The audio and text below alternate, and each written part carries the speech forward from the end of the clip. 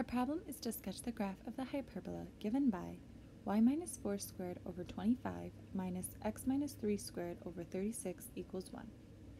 Our equation is already in standard form, so we can start plotting our graph. We first need to find the center of the hyperbola. We can see here that h is equal to 3 and k is equal to 4, so our center will be 3, 4. Next we need to figure out a and b since they will determine our vertices.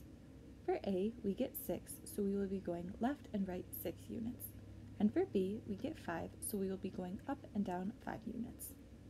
Now we can sketch our central rectangle that will have side lengths of 2a and 2b and will be centered at the origin. We can then sketch our asymptotes since they will pass through the corners of our rectangle and we can use our origin and vertices to find their equations. Finally, using our vertices and asymptotes, we can sketch our hyperbola and our graph is finished.